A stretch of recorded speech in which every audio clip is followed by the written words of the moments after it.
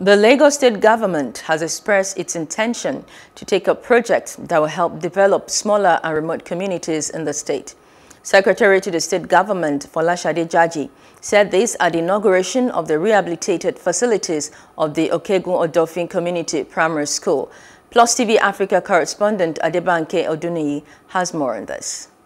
The Lagos state government, under its initiative One Community at a Time, OCAT, has rehabilitated and commissioned the Okegun Odofin Community Primary School.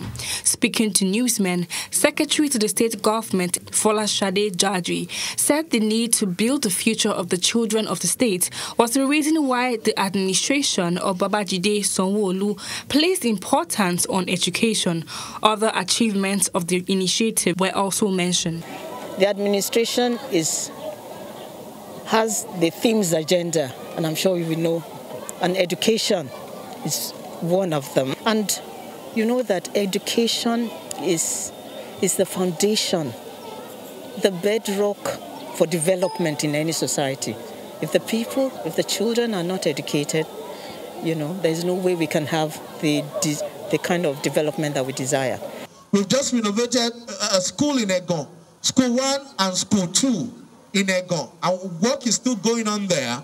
In addition, we've just built a new public park in uh, Ijeododo, and another project is going on in Akpa in Badagry. The issue of fencing of schools in the state was emphasized. One of our biggest challenges in our public primary school have been the issue of fencing that is so important for many reasons.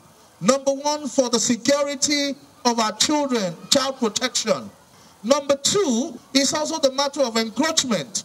We have witnessed many of our school facilities that have been taken over by developers, by people in communities. They just, you know, with total disregard to the law, build housings and other things on school facilities and school compound before you know it. While immense appreciation was offered to the Lagos state government, a traditional leader expressed the need for a police station around the community.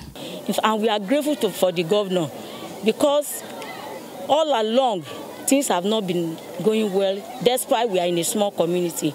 And i thank god for what the governor has done for us today. But we still need something like police station in this community because of the all this um, bad attitude in the, in the asses. the initiative hopes to work on other communities in the future. Reporting for plus tv africa adebanke Oduniyi hello Hope you enjoyed the news. Please do subscribe to our YouTube channel and don't forget to hit the notification button so you get notified about fresh news updates.